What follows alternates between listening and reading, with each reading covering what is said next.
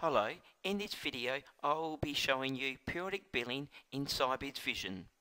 Let's have a look. The first step in setting up your periodic bills is to set up a schedule. So if I go to my lookups list, I go into schedules. Notice I already have three schedules already set up. Now if I go into my first schedule here, notice that this is set to monthly on the last day of every month. So once I've set up my schedules, I can then go ahead and create my periodic bills. To create your periodic bills, go to Debtors, go to Periodic Bill, right mouse click Add, select your customer. Now note I can select a foreign customer for my periodic bill.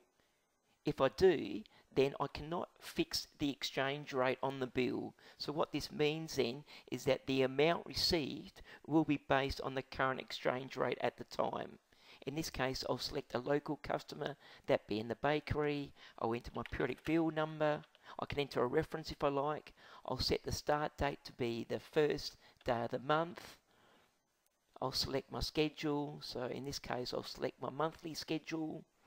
So my periodic bill is next due on the 31st of May.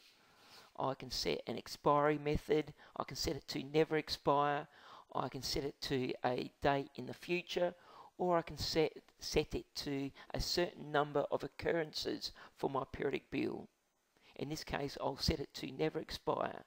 Now note this option here, the create order option. If I have this option ticked, what this means then when it comes to processing this periodic bill through my periodic bill run, it will create a sales order for the periodic bill rather than an invoice. So then I have the luxury of invoicing this particular customer at a later stage by picking up the sales order. In this case, I'll leave this option unticked. Now I'll produce my periodic bill lines.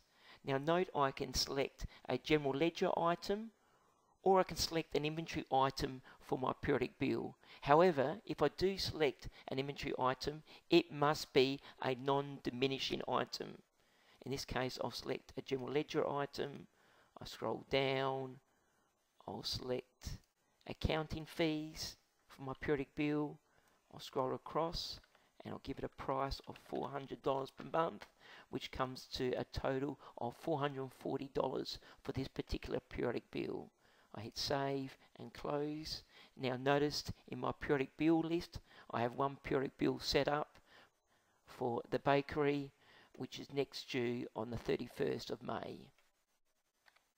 To process your periodic bills, go to debtors, go to periodic bill run, click next, enter a transaction date, so I'll enter the last day of the month, that being the 31st of May. I click next, now notice for my periodic bill run, I can select it for particular customers or by a particular customer group, sort code, industry or territory. In this case, I'll leave them all as is. I'll click next and notice on my review screen here I have one periodic bill to be processed that being for the bakery which I've just created which is correct so I'll click next and I'll click finish and notice now it has processed a periodic bill for the bakery for a total value of $440. To learn more about periodic billing and related functionality, you can check out the product help. Thanks for watching and thanks for choosing Sybiz.